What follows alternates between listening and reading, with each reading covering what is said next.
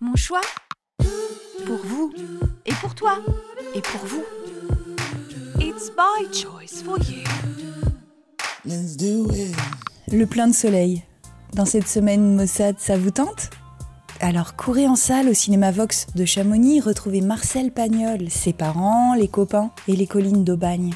Le temps des secrets de Christophe Baratier sort en salle ce mercredi. Il est adapté du roman du même nom, troisième tome des souvenirs d'enfance de Marcel Pagnol, paru en 1960. Il est précédé, vous le savez, par La gloire de mon père, Le château de ma mère et suivi par Le temps des amours. Alors, qu'est-ce qu'il raconte, le Marcel? Marseille, en juillet 1905, le jeune Marcel Pagnol vient d'achever ses études primaires.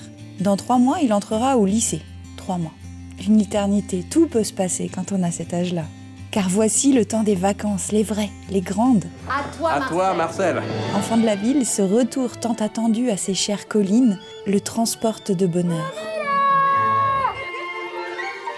Il y retrouve la nature, les grands espaces et surtout son ami Lily, toujours prêt à partager de nouvelles aventures, à l'âge où le temps de l'insouciance laisse place à celui des secrets.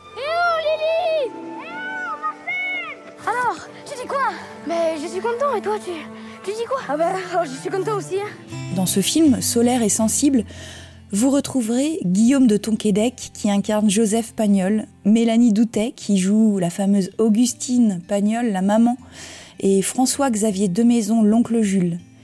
Marcel Pagnol est interprété par le jeune Léo Campion. Alors courez-y, le soleil de Marcel Pagnol fait du bien. C'est parti pour les vacances Le temps des secrets de Christophe Baratier sort en salle ce mercredi.